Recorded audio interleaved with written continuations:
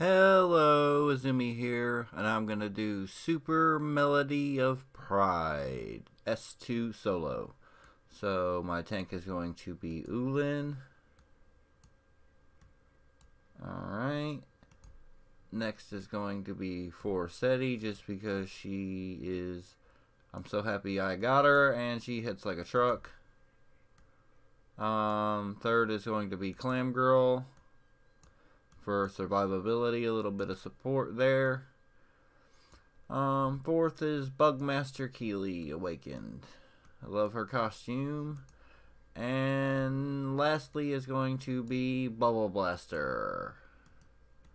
So here we go with her equipment. And let's go with the fight.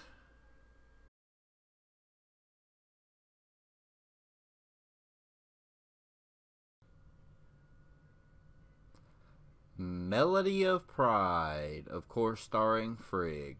So we have Awakened Frigg, who is in the Magic row, is Aesir, and considered to be airborne.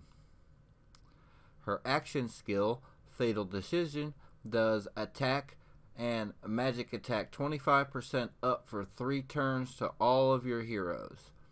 Also does 150% water magic attack damage, and defense and magic defense 25% down for 3 turns to all enemies. Her auto skill does water magic attack damage and vortex for 3 turns to all enemies in the connect battle. Vortex applies only to airborne enemies. On S1 she has Aqua Field, on S2 she has High Aqua Field. Uh, the most effective elements here are going to be, of course, earth and dark because you're going to need those to get rid of the crystals. And that can really help you out a lot. So, moving on to the crystals, the water crystals are in the magic row. And they their skill is water magic attack damage and water wound for three turns to three nearest enemies and they do slow for three turns to three random enemies. Slow and water wound apply to all races. Next is going to be the light crystals, which are in the ranged row, and those are force crystals.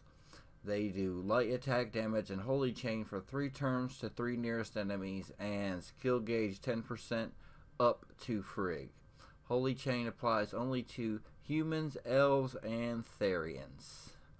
On S2, they also do light attack damage to the three nearest enemies and another skill gauge 10% up to Frigg. Now, uh, for the most part, the way that my strategy works on this is I kind of ignore the light crystals kind of period and I just crush the water crystals to get rid of the slow, and then I just worry about killing Frigg. So, uh, some people might not agree with that strategy, and it might take longer than some other people's strategies, but it, it, it works as you can see. Um, I like to use the limit break, this one right here, the healing limit break, just because it kind of helps out a little bit. And moving on from that, some of the other heroes you can use are going to be the new one, Poetry God Bragi, um, Boar God Kubira, Floral Girl, Flower Girl Flora, um, the new Sif, who I really want, Bergelmir, um, both Hellblindies, um, Blowdew, Lumiere could help depending on where you got her positioned, um, Camille, and Poel.